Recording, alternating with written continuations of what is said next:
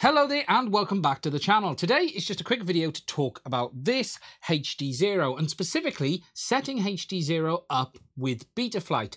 Whilst in the past it wasn't particularly difficult in the sense of you had to choose a UART, connect the serial port up and then configure the UART to allow you to actually have MSP display port via the CLI command, configure the correct UART for that by putting in another CLI command with a minus one, and then putting in a new configuration for the VTX tables. Whilst it was fairly straightforward, it wasn't exactly plug and play. However, there is some good news on this, and that is with the new configurator release and the new versions of Betaflight, you can now choose a preset and get HDZero set up in just a few clicks.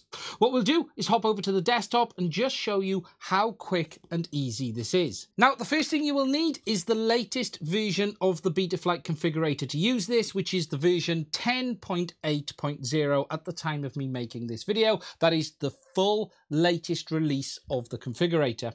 This configuration option also does work with Betaflight 4.2 and 4.3, but I would advise you move up to 4.3 if you haven't done so already, or at least if you're on one of the beta versions, you want to make sure you now upgrade to the official release. Now the configuration for this is really super simple. You need to connect obviously your VTX to your flight controller, open up the configurator and go down to the new presets option over here. If you scroll down, you will find that there is a preset option for HDZero VTX. This allows you to configure the options needed. It will automatically configure the VTX tables and allow you to select the correct options for that MSP DisplayPort OSD as well. Now it's worth mentioning that there is a different configuration depending on what board you choose. For instance, if I take the drop down, you can see that you have the option for all VTXs except the unlocked freestyle and TX5 M.1. You have the unlocked freestyle and then you have the TX5 M.1. The reason for this is there is slight differences between the VTXs in regards to the firmware and the functionality as well. So you need to choose the correct option for your specific model.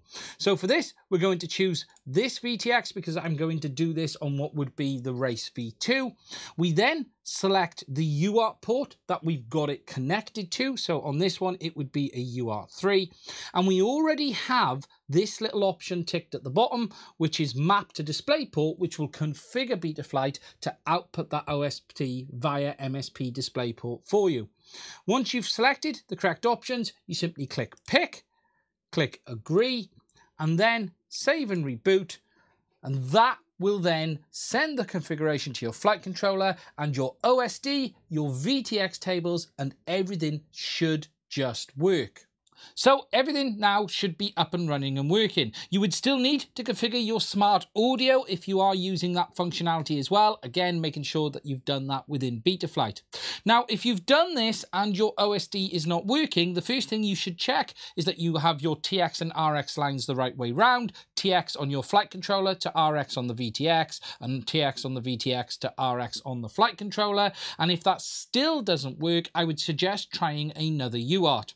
HD0 Zero should work on any UART as long as it's not soft serial, but we do have reports of people having issues for no real good reason on specific ports and then swapping to another port suddenly makes it work. But remember, if you do do that, you will need to reconfigure those options in Betaflight as well.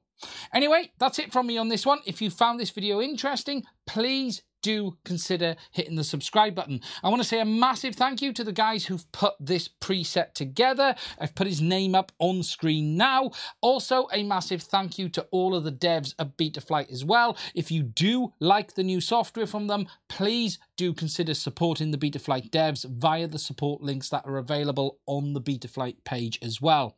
Finally, if you'd like to support the channel to allow us to keep making content like this, please do check out the links to my Patreon as well as buy me a coffee in the description. It's only by you guys supporting the links I'm able to keep making content moving forward.